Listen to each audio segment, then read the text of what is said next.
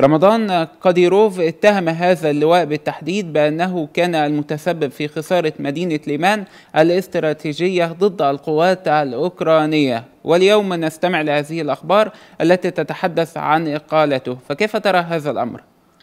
الحقيقة رمضان قاديروف يعني شيء مؤسف جدا أنه يعني واقف إلى جانب روسيا خصوصا ما فعلته روسيا في أهله وما فعلته روسيا في بلده الشيشان وهو يعني يعني هو ملكيا أكثر من الملك. وهو كان بيدعي إن هو شخصيا سيحتل كييف وبيدعو لحرق وتدمير المدن الأوكرانية. فهو شخص يعني يعني شخص هو عبارة عن شخص ذليل لبوتين.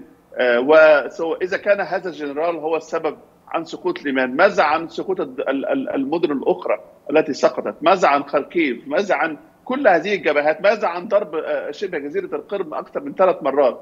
فلا يعني هو الحقيقة السبب الحقيقي هو أن أداء الجيش الروسي بصفة عامة أداء سيء في هذه الحرب ليس لجنرال بعينه.